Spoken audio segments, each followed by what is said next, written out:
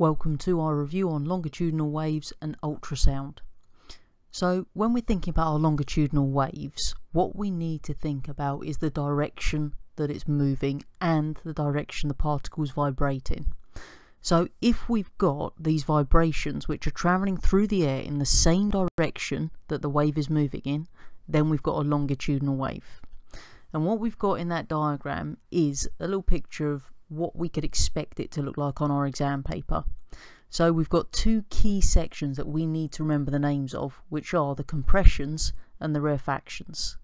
So our compressions, as the name suggests, are the areas that the lines are very close together, and the rarefactions are the spaced out areas. So do remember those two labels because they do like to ask you to label them on a diagram every so often. In addition to that, they'd like to ask you what the wavelength is in a longitudinal wave, and that's just the actual distance between the centre of one compression to the centre of the next compression.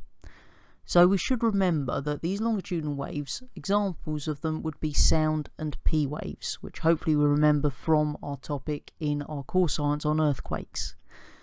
The other type of wave that we've already encountered are transverse waves, and our examples there are water and the electromagnetic waves. There are four definitions we need to remember then for this bit.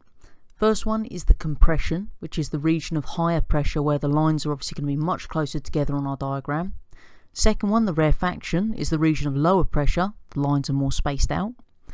Third one is frequency, which is the number of compressions passing a given point each second. And as with previous frequencies, it's measured in hertz, which is the symbol Hz. And finally, the wavelength, as we've already said, is the distance between two compressions. Just to compare our transverse and longitudinal waves in terms of our particle vibrations, if we think about a transverse wave, then the particles will be vibrating at right angles to the direction the wave is going in. However, in our longitudinal wave, the particles vibrate in the same direction the wave is going in.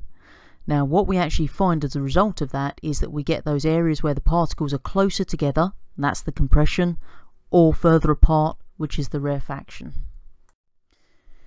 If we increase the frequency, then the particles in the air will vibrate more rapidly. If, however, we make the sound louder, the particles will vibrate with a greater amplitude. So that just means that they're going to be moving further from that central position. So basically they move a greater distance. So the further those particles move, the greater the amplitude and the louder the sound. If we're thinking about sound, there is a certain type of sound that can't be heard by humans, and that's ultrasound.